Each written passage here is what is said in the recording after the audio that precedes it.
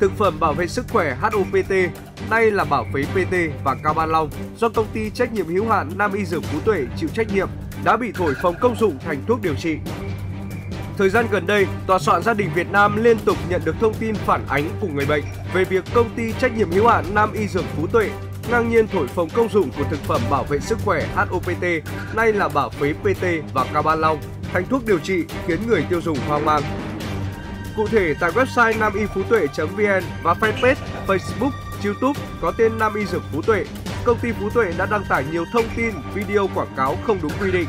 Mặc dù đây là sản phẩm bảo vệ sức khỏe, nhưng công ty Phú Tuệ đã quảng cáo đến người tiêu dùng là thuốc dùng để điều trị. Theo website namiphútuệ.vn thì thực phẩm bảo vệ sức khỏe Cao Ban Long dùng để điều trị viêm loét dạ dày. Thật khó hiểu khi trên website của công ty lại xuất hiện thêm một thực phẩm bảo vệ sức khỏe Cao Ban Long giống hệt như trên, nhưng lần này công dụng đã được đổi thành Cao Ban Long cố và dưỡng thai.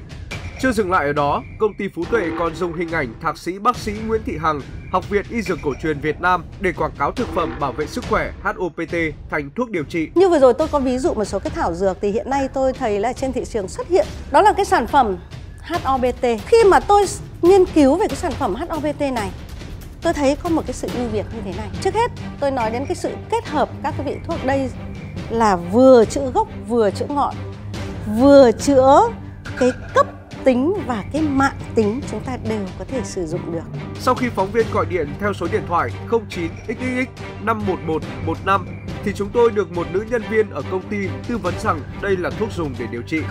Ờ, ho nhiều quá thì um, là hiện tại mình sử dụng luôn cái cắt phân ho dứt điểm đi ví dụ như là mình sử dụng cái bảo phế bên bên uh, BT của bên mình ấy bị khỏi hẳn thì nó nó còn có một cái quá trình của bạn là sẽ có nghe là nó đang ho khan bạn nhé. Ho khan thì sau cái ho khan nó sẽ có xảy ra cái tình huống là nó sẽ có long đờ. Thì nó mới hết được ờ, dứt điểm thì uh, ít nó cũng phải là ba lọ thì nó sẽ ổn định lại. Thì nó sẽ cắt được hết cái, cái chấm dứt đủ liều đấy nó gọi là đủ liều các bạn.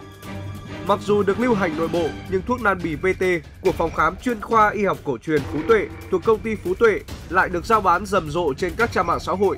Khi liên hệ mua thuốc, phóng viên đã rất dễ dàng mua được loại thuốc nan bì PT. Dạ vâng. Hiện tại là bên em cái lăng bì thì nó đơn giản và sử dụng nó dễ lắm, nó chỉ có ba cái sản phẩm thôi, đưa một là bôi thoa, hai là viên uống, viên em và à, một cây lọ cao tắm nữa. Thì à, cái một bộ đấy thì mình cứ sử dụng khoảng sau uh, gần một tháng thì mình lại dùng tiếp cái liệu trình sau để cho nó duy trì ổn định nha anh ạ. À, em gửi luôn cho anh thì ngày mai anh nhận được luôn á. Việc thổi phồng công dụng thực phẩm bảo vệ sức khỏe thành thuốc điều trị đã gây nhầm lẫn nguy hiểm cho người tiêu dùng. Đề nghị cơ quan chức năng vào cuộc xử lý nghiêm những vi phạm tại công ty trách nhiệm hữu hạn Nam Y Dược Phú Tuệ. Tòa soạn gia đình Việt Nam sẽ tiếp tục thông tin với quý vị trong những phóng sự tiếp theo.